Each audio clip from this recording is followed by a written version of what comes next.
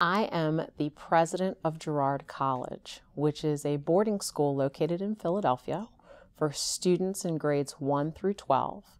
All of our children come to us from families that struggle with issues of poverty and have one parent. We offer a 100% scholarship to all of our children, and we have a five day residential program. All of our children are prepared to go on to college. And what's really great about our school is that we're 163 years old. So there's a strong history and tradition of Girard College that I get to help to move into the next stage in our lives.